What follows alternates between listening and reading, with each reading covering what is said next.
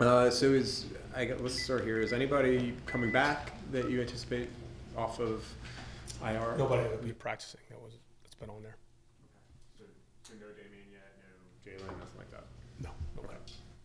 Isaiah's still practicing. We haven't brought him back, but he started practicing last week, and he'll be out there again today. How close was How close was he last week? I mean, I think once we, I mean, I thought he looked pretty good, but see how this week goes. But obviously, uh, what the plan was, I mean, we didn't, he wasn't going to be part of the 48, so we, you know, we didn't take him off. And uh, with Kyle, do you anticipate him back today? Uh, yeah, he'll be back. We'll see how it goes all week with him. Hey, Coach, um, just was looking back at the, the uh, untimely pen- penalties.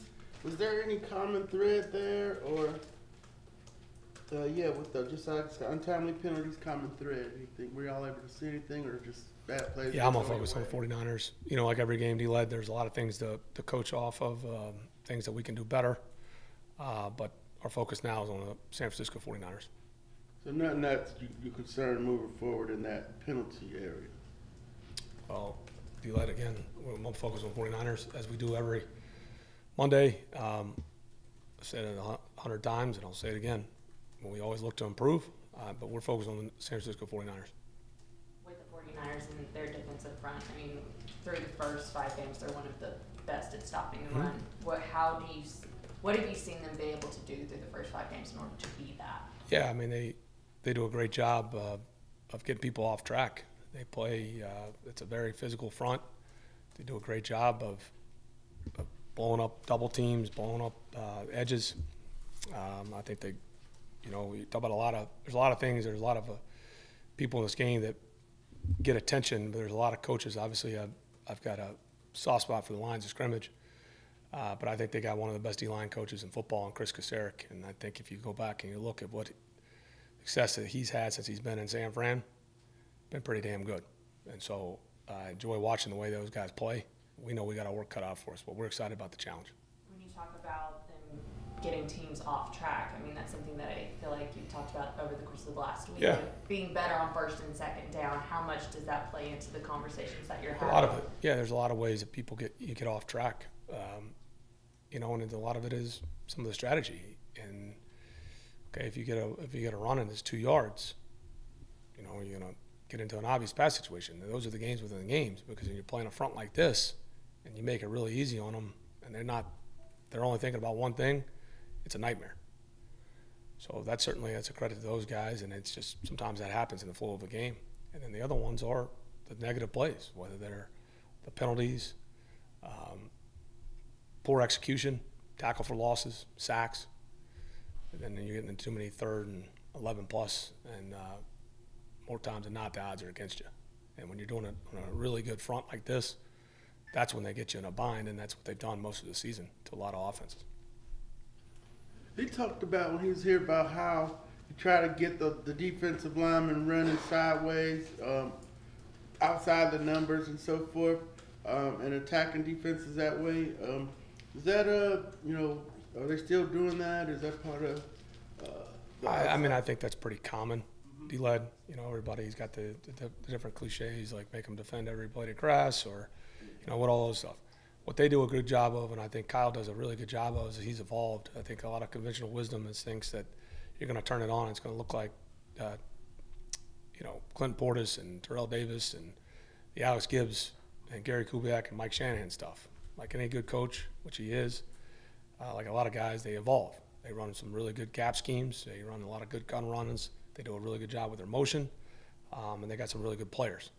So, like every good coach, they evolve. If you think that you're looking at the 1999 Denver playbook that uh, Frank Bush has for us, that's not what this is, and that's a credit to Kyle, and, and uh, he's a really good coach. But uh, they run multiple schemes. Um, we got to make sure we, we, you know, they've got Deebo Samuel, George Kittle, Aiyuk. I mean, they got good, really good players, and Juszczyk. I mean, they, it's a, it's a good challenge. It's there's a reason they've been in the Super Bowl and they went to the NFC Championship game.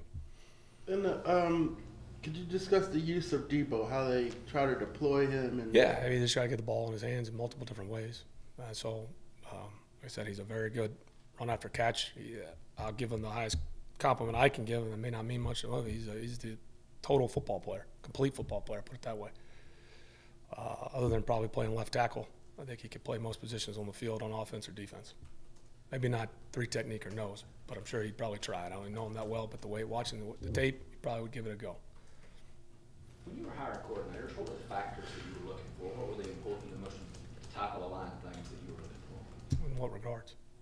What is this? quality? What qualities? I mean, what what sort of? We'll have these uh, conversations in the offseason. Uh, I prefer to talk about 49ers. If you're, whatever story or whatever narrative you're trying to investigate or, or write about, I'm happy to help you, but I prefer to stay on track with the San Francisco 49ers and the Atlanta Falcons, our football team in this game.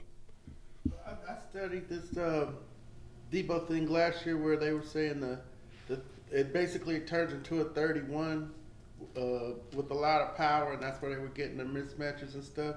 So that just speaks to the versatility with how they try to attack people. It depends on what scheme they're trying to attack and what teams are trying to do to them. I mean, like I said, they, they can give you multiple looks. I think they're pretty good at the gap schemes. Uh, they can motion them into the backfield. They can line them up back there. They can hand the ball to them on, again, multiple schemes, whether they're gun runs, toss it to him. Um, you know, the, to me, the, the most comical completion in football is that little lob pass on the jet sweep motion. I mean, he can do it all. Whether that counts for a pass or not, that's a debate, Josh, for another day, too. Um, I don't think Marino and Elway got the same stat pad and credit for it, but it is what it is. It's all over college football and people using the NFL. Um, but just a terrific football player, D led. Good route tree, too. Knows how to get open, hard to press. I could go on and on and on. What goes into your decision process in terms of ch- deciding to challenge a player or not? In terms of what? In terms of like the how that goes from after a play's over. Yeah, there's something an example see. of a question of a play that was challenged or not no, challenged. I'm, more, I'm, more gen- I'm talking more generally. So you're like in the Josh approach, right? Writing a story about challenges. We can we can set up time and talk about that another fact. But in terms of what is there Well, something going on wondering, that you want me? the, the, the quickness of it, like how that goes. Like, do you have somebody in your ear saying, "Hey, look at this"? Do you because obviously you're calling plays too, especially on offense. I'm just wondering how that goes, how that works for you specifically. Again, I like like when D led asked about scheme or uh, rotations, we keep that stuff in house. Uh, there's a lot of different processes I've been a part of, but again, if you tell me what relevant that is to this game, I'm happy to answer it. Is there something specific? No, there's No? nothing relevant Okay. to this particular game. It's All right. something little, little. Okay. How is the way that Grady Jarrett's playing affecting what you're able to do elsewhere defensively? Yeah, he's having a terrific season. I, um, you know, he's one of those guys. The longer I've been around him, the more fortunate I feel I am to be able to coach a guy like Grady. Uh, he's rare. Same thing Dabo told me when I talked to him and I got this job. He said, "If you're going to start a program, that's the guy you started with." And I know a lot of people say a lot of things and fluff things up, but that's a very true statement. I think it's impressive. Um, guy does gets a new contract, and I don't know if there's anybody working or playing harder than he is. He plays multiple spots for us. One of the best leaders I've ever been around. Um, he's having a terrific season. He can play in multiple spots and understands how to set people up, pass rush, uh, knows how to take his chances in the run game. Uh, playing really, really good football for us right now, Josh. Do you think he's playing better than he was last year, or is he just getting better results? Again, he's having a really good year, Scott. How's uh, Jimmy G playing for them after? Um, Gene's won a lot of football over? games. Again, I've never worked with him. I got a ton of respect for him. There's no flinching in him in the pocket. Um, guy finds a way to win a lot of football games. So, ton of respect for him. Obviously, can get rid of the ball quick, get a quick delivery, tougher than hell, and he's won a lot of games.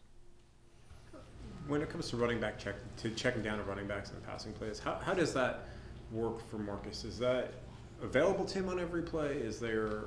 There's not a play in football, Mike. Right. Like, if you, I mean, Jesus Christ. Like, come on. Like, I give you um, a high school playbook. Yeah.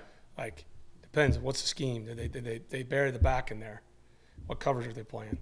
Like, what's the protection? Like, not to, I'm not trying to be patronizing, but that's such a generic question.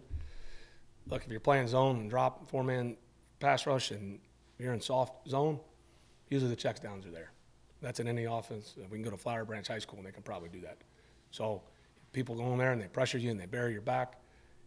I, I don't know an offense, literally, probably in high school. Maybe there are. Maybe this is, you know, I shouldn't say that with like, I'd say 90% of offenses from Pee Wee football or D Led can tell you about, uh, what's your team name? Smyrna Spartans. Smyrna Spartans. They probably have some kind of flare control or check down.